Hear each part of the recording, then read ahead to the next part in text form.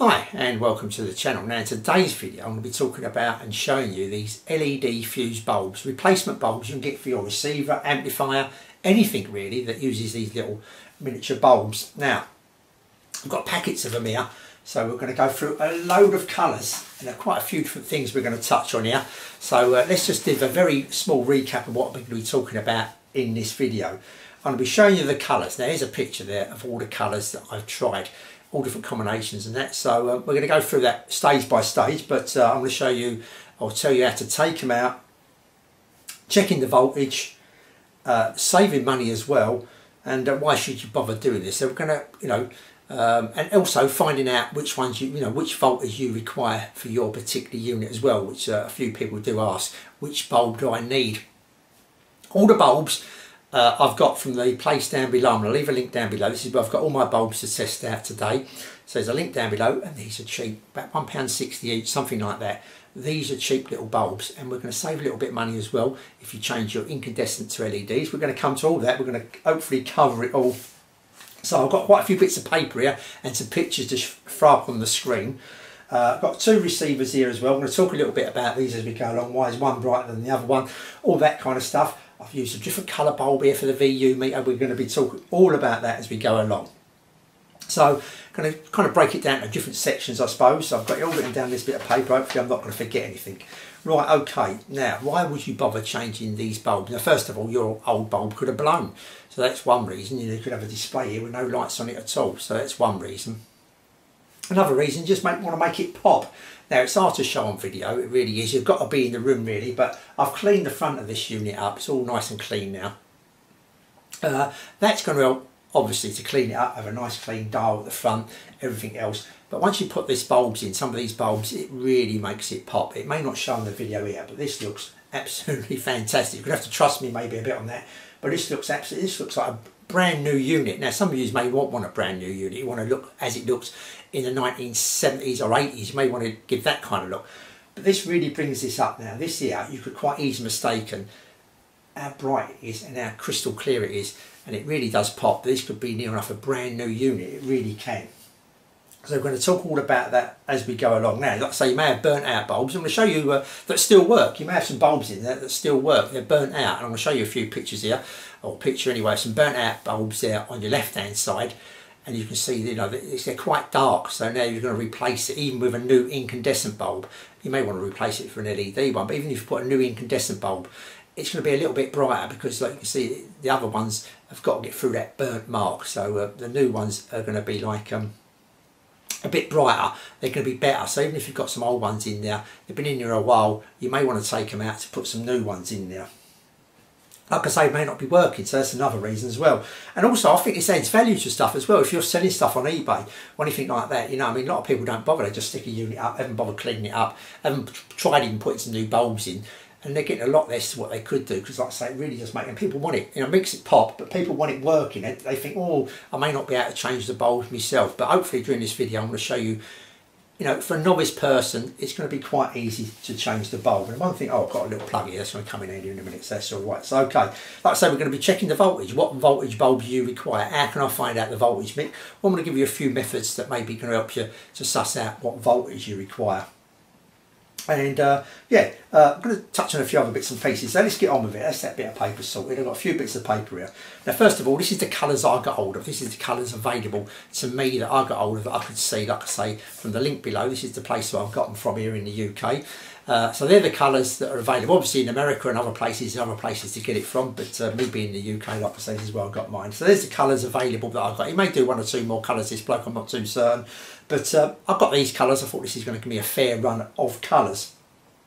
So uh, what we're going to start off with first is just make sure where I am with all this. Um, which ones of us? This is a bit of paper. I put the wrong bit of paper down as normal. Right. So first of all, uh, we want to get to the bulbs already in there. Like you know, I mean, they may be a bit dim. We may want to change some LED ones rather than incandescent and that kind of thing. Now normally. On, on receivers, amplifiers, depending where you've got this bulb, it could be in your car, could be anywhere, but uh, on, a, on a receiver, something like it's usually just a few screws that takes the top off then once we take the top off the front should come off. Now I'm going to give you a link to a couple of videos at the top there where I've done this. I've took the actual top and I've took the front off give you some kind of idea. A couple of links there you've just seen that uh, give you an idea of maybe how to go about doing your receiver. Now, on one particular receiver, some Marantz there, uh, I've stuck at the top there now, hopefully. It's a tricky bulb where you have got to take a lot more out. I've kind of cheated a bit, but just gives you some idea. Maybe you have to bend the rules if you've got a tricky bulb. Not all of them are tricky. It's only, you know, all the receivers and bits and pieces I've had here, that is the only one that was tricky. The rest of them are pretty straightforward to get to, so that's no problem. But before we start, I did mention a plug. Before you start anything, with your receiver amplifier, whatever you're doing, especially you know electrical, uh, you know, with 200, uh, 240 volts, 117 volts, something like that, make sure you've got this in your hand. You've got that and it's not plugged in. Make sure it's unplugged. You've got the plug in your hand, going to the right unit. Don't going to get mixed up that it's accidentally on. Even though it's turned off, you still got, you know, this was plugged in, even though it's turned off like that, you're still going to have voltage inside and you may touch it trying to get to them bulbs. So be careful, unplug this, is the best bet. Make sure you've got it in your hand, then put it aside and you know it's definitely unplugged. So that's that sorted. Right, okay, hopefully I'm not going to be too long. I'm going to go through a few different things here. Right, so now you want to find out what voltage your bulb is. So I've got four ways here. I've come up with four ways of checking your voltage. The first one is actually on these bulbs themselves is that uh, on the top, on the cap itself, there's usually inscription. It's kind of like uh, engraved in. I've sh showed you a couple of pictures there on the screen now. And they will give some clues to what kind of bulb you require, hopefully. I'm not saying it's on every single lamp, but uh, on most of them it is. And that will tell you the voltage. As you can see there, I think I've got a 6.3 volt one and a 7 volt one. And it also have the milliamps on the side as well this would range, I should imagine, between 150 milliamps to about 250 milliamps. But these are the old incandescent type bulbs. These new LED ones we're putting in will be a lot less. You, know, they're just going to draw less current. Uh, so yeah, don't worry. If you've got, you know, if you've got 150 milliamps, you're going to change it for an LED one. Then you're okay because it's going to draw a lot less. You haven't really got to bother chicken anymore. But if you're going to change it for another incandescent one, uh, an old-fashioned filament type one, you may want to double check that that is the same. If it says 150 milliamps, 200 milliamps, something like that, that you get the same milliamp one if it's an incandescent one. But if you change it for an LED, all you've got to worry about is the voltage. So that's one way of doing it by that little cap, like I say, that little silver cap. It could be engraved there. Number two is a circuit diagram, and I've stuck up four circuit diagrams there. You may be able to download a circuit diagram for your machine or your particular unit and in that circuit diagram you're going to have these kind of symbols that look like a, a round or square thing with a filament like a, a swirly pattern inside. And these are bulbs. And next to the bulbs you're going to see there it says what voltage they are and what milliamps they are as well. Like I say don't worry too much if you're changing an incandescent for an LED the milliamps is going to be fine. Just double check the voltage. A third way of doing it if you've come unstuck both them ways you haven't got it on the sides and you haven't got the circuit diagram is with a meter just where the old bulb is as shown here uh, just put the probes of your meter. If you haven't got a meter you can pick up one for about eight pounds something like a cheap multimeter. Put it on volts put uh, start off with AC uh, turn your unit on. This is the only problem here. Now you're gonna have to have your unit plugged in after you've took it all apart plug it in and check the voltage uh, across them two connections. Try on AC first of all. Most bulbs are AC you should get a reading between maybe 6 and 12 volts, something like that. If it doesn't give you any reading, then switch the meter to DC, then you should get a reading there. So that's another method, that's method number three. Now method number four is just drop me a comment down below and hopefully I may be able to find out where it is. I may be able to find the circuit diagram or answer a good guess of what the bulb should be. So you've got four options there. And don't forget I've got a super thanks at the bottom for any information required. It's just 50 quid. So just give me 50 pound we'll sort that out straight away. Now honestly I'm not bothered. If you want to give me 50 pence or something like that that'd be great. To help the channel. I'll go and buy something else later on. But I'm sure you'll get it in one of them first threes but if you really get unstuck give me a little call I'm, I'm going to help you for nothing so don't worry about that. Okay, so that's it. So I've showed you the four different circuits there, roughly what to look for in the diagram as well. I've covered that okay, so just make sure I'm not missing anything. Now also these bulbs, uh, one thing to consider, we're going to get onto the colours in a minute, don't panic, but one thing to consider here is the bulbs, which colour to get. You can, we've got this multitude of colours to get. Uh, you know, white's great, a cool white, a warm white, something like that's going to be great. But uh, on these Marantzes, Sansuis that I've got here, etc., you may get uh, a bulb that's got a filter over the top of it. I'm going to show you a picture one there. This is at Marantz, I think. It's got a blue filter, so the, the bulb, even though it's incandescently white, they try to change it to a blue. So you may want to look for a blue coloured bulb, either a normal blue, an ice blue, something like that, to replace that bulb wherever you took that. It may have a colour filter. Or if it hasn't got a colour filter on the bulb, you may just want to check the back of your unit here when you've undone it, is if this has got any film on the back of it. You may get a green film or something like a blue film or some coloured film. So you may want to go for that colour again bulb, uh, or you may just want to do a white one and let that film do its business kind of thing, do, do what it's supposed to do. But on the bulb itself, as you can see, if there's one a film on the bulb, then it's best maybe to get a bulb of that colour uh, that the film's over it. But what I've done here, this here is a nice white, and it really does ping. It probably don't show in the video, which is a shame. And that meter there has got a green kind of film at the back. Uh, I could have put a white bulb in there, a normal white bulb. What I've done here, I've actually put a green bulb in there to make that green even more lush. So we mixed a couple of colours here. We mixed a white, a cool white, and a green to get that kind of effect and just give that meter. It's supposed to be green, it's just showing out more and it really does look nice. So that's that. So now what we're going to do, we're going to show you them colours again. These are the colours I've tried out and we're going to show you on this receiver here what they look like. May not be the greatest but may give you some kind of idea. Also I'm going to show you a picture, uh, each individual one and that picture is from the back plate of here. I've used that back plate which is three little sockets that they shine through. So that will give you some kind of idea of, the intensity and the colour as well hopefully. So the first one we're going to show on this Sansui is blue. So that's what blue looks like. Um, and as you can see it's not so bright as the white. Uh, has a bit, bit of a blue tinge to it but it's okay, it's not too bad. It may kind of suit you. Like I say this has got a greenish background anyway here. Uh, it's kind of like really got green and white so maybe a blue's not a great colour but if you've got a blue dial or some blue writing then maybe go for a blue but you know it's up to you then we're going to show you ice blue next this is ice blue and ice blue is a little bit brighter than the normal blue. It's just got a, bit more white to it i.e. ice blue. Then we've got green which uh, doesn't look bad here because we've got the green meter as well on this um, Sansui and the green background doesn't look too bad. It's kind of it makes it different kind of thing. It makes it different. So uh, like I say maybe a mix and match there. Use the ice white or warm white and go with a green for the meter. So that's something maybe to think about. Then we've got pink uh, it's more of a violetly kind of colour this I think it's not really pink I think it's more of a um, a, a, a, violet colour and it's not so great for the VU meter it's struggling to show that VU meter with that pink. It's not quite, you know, it hasn't got the intensity. Then we've got yellow. Uh, and as you can see, the meter's really dark on here again.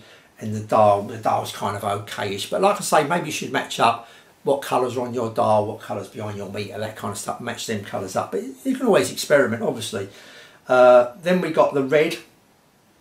Uh, and, we, and again, the red's not bright enough for this particular dial, uh, for the tuning meter, signal strength meter here. Uh, it doesn't show that up at all. Now we've got the uh, cool white. This is the one I do like here, especially on this unit here. It really makes it pop. And with that green, it just uh, it looks like a brand new unit. It really does. So that, that, that looks really great. We've got a warm white. Now this warm white is like an incandescent kind of colour and that's pretty good. Make it look a bit more old fashioned kind of thing. So hopefully you're picking that up. Like I say, just makes it look a bit old uh, and may bring it to more like the, uh, the era that the unit was in. Uh, then we've got an incandescent. Uh, th th this is more of a warmer colour yet again. It's a little bit duller than the warm white, just a little bit duller. Um, but you know, it looks quite nice. This, this is incandescent, but this incandescent is a proper bulb. It isn't LED. It's got the filament in there. It's a filament bulb. We're going to come to that in a minute. It's going to draw a little bit more current. It's going to get hotter. These bulbs all run nice and cool. And maybe if you've got a sealed unit or something like that, uh, it's going to keep it cooler inside, it's going to keep it cooler in the summer as well. It's quite hot here in the UK at the moment and having something on that's generating heat and these little lamps can generate heat, the little incandescent ones can but the LED ones doesn't. It can generate quite a bit of heat. If you've got a sealed unit as well, it's going to generate more heat inside so if you've got some parts in there that get quite warm anyway, it's only going to add to that a little bit as well. Okay, then we've got the warm white 12 volts. Now the reason I put these 12 volts, I'm actually supplying it with 7 but it just gives you an idea that you can put a 12 volt bulb in a 7 volt unit. It's just going to be duller. So if you didn't want it quite as bright, maybe you didn't want that warm white, you still wanted to tone it down even more, just after the display so it just comes on enough for you to see it.